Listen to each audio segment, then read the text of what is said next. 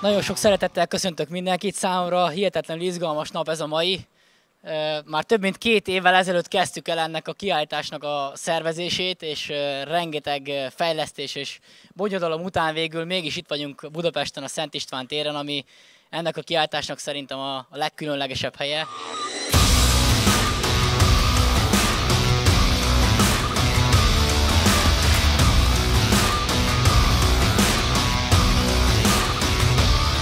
Hat nappal ezelőtt úgy nézett ki, hogy ezt a kiáltást nem tudjuk idehozni, mert a kamion nem fért be a csarnokba, és nem tudtuk elhozni az anyagot, utána meg az anyag nem fért be a kamionba.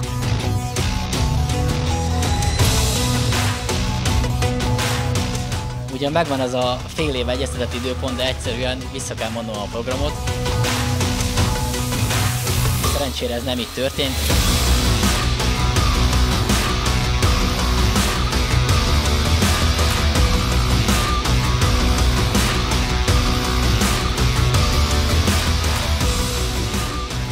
Hát ez 4186 darab alkatrész, ami itt alattam van. Ebből van itt 15 darab. 70 ezer lett fogja megvilágítani.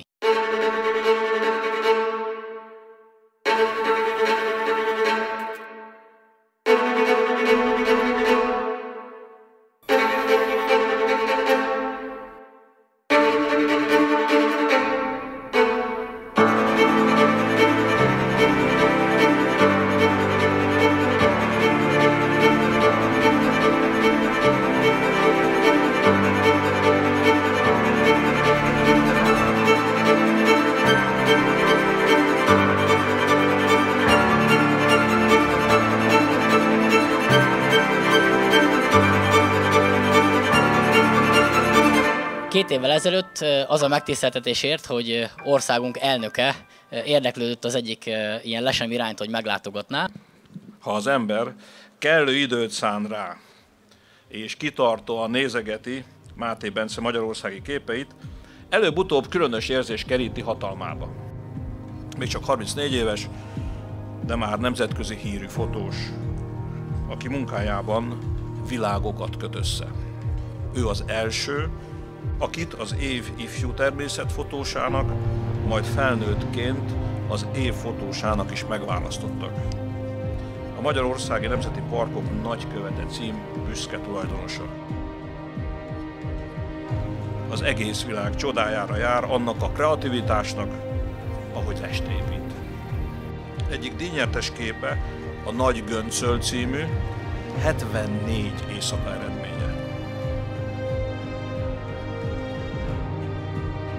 Hát egy jó pár évvel ezelőtt megadta az Isten, hogy eljussak Bencéhez. Bementem, és az egyik fal, hát nappaliába, hát kint él a tanyán, Szeged mellett, és hát üvegből volt. Mögötte szebb halak, kis teknyős béka, mit tudom, rákok, ez az, minden, nézegettem, mondom, te ezt a sok egzotikus állatot honnan szedted össze? És azt mondja, ez mind egy kilométer körzetbe itt a tanyámnál, itt él, itt, itt gyűjtötte össze. Tehát akkor úgy rádöbbentem arra, hogy hát ez az én drága szülőföldem, amit úgy, amin úgy sokszor keresztül rohanunk, hogy mennyi gyönyörűséget, szépséget tartalmaz. Szeretnék elengedni egy jó néhány köszönömöt, mert azért ez a munka ugyan lehet, hogy az én nevemet hordozza, de több száz embernek a munkáját jelenti, és ez azért, azért mondhatom, hogy több száz, mert amikor a könyvembe, aminek Csaba testvér írta az előszavát, meg kellett emlékeznem arról, hogy kik voltak azok, akik mellém álltak és segítettek, akkor 501 olyan nevet tudtam felsorolni, és egész biztos vagyok benne, hogy kimaradt belőle jó néhány, akik önzetlenül segítették vagy ezt a kiállítást, vagy valamelyik fotóprojektet, vagy tolták a szekerünket, és ez egy nagyon-nagyon jó érzés. Ha minden igaz, akkor az az elmúlt hát két éves fejlesztés, ami eddig volt, az, az most fog tudni debütálni, és mire hármat számolok, akkor Csoba egy gomb megnyomásával egy 24 ezer watt energiát be fog táplálni ebbe a rendszerbe, és minden, minden fel fog villanni. Hát reméljük, hogy egy, kettő,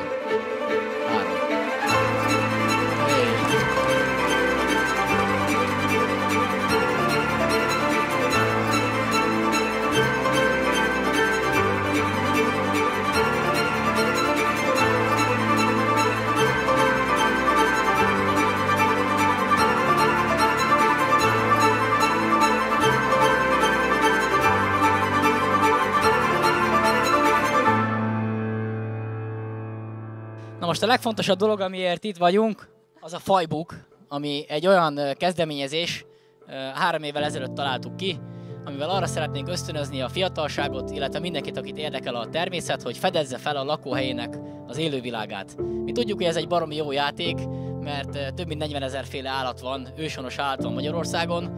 Ez nagyon izgalmas összegyűjteni, és mi most megalkottunk egy 21. századi Lutra albumot, és ezt a kiállítást ezt arra szántuk, hogy egy nagy felületet adjunk ennek a kommunikációnak, el fogunk érni 1 millió embert 8 városba,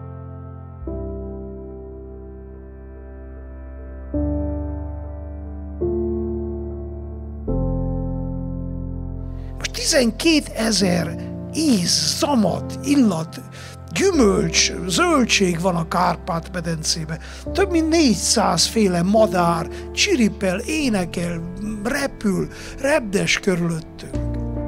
Olyan jó lenne, hogyha felszabadítaná ezt a csőlátásból, Bence, hogy, hogy kinézzünk, hogy nem csak épületek vannak, nem csak jó meg rossz emberek vannak körülöttünk, hanem növények, állatok, minden. Úgy gondolom, egyik legnagyobb győzelme az lenne, hogyha az csapatának sikerülne ezt így közkincsé tenni, hogy a fiataljainkat egy-egy okos telefonnal merjenek kimenni, és a környezetükben fegyék észre, milyen szép lehet egy egyszerű gerle, egy veréb, fecske. Nézzünk ki magunkból, Isten drága ajándékai. Minden, ami van, egy pillangó, minden arról beszél, hogy szeret bennünket a természet, hogy van jövő, hogy van remény, hogy élni érdemes.